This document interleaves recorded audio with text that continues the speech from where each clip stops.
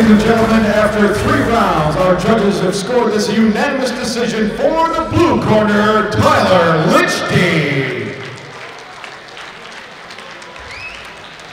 Tyler, man, out of breath, who do you want to thank tonight? Thank my partner, first of all. He was amazing. And a big shout out to Sudden Impact, Gracie Jiu Jitsu Fort Wayne, and Antolin Martial Arts out of Romulus, Michigan. And thank you all for coming out. One more time for Tyler, everybody. Nice work, man. Really quick shout out to our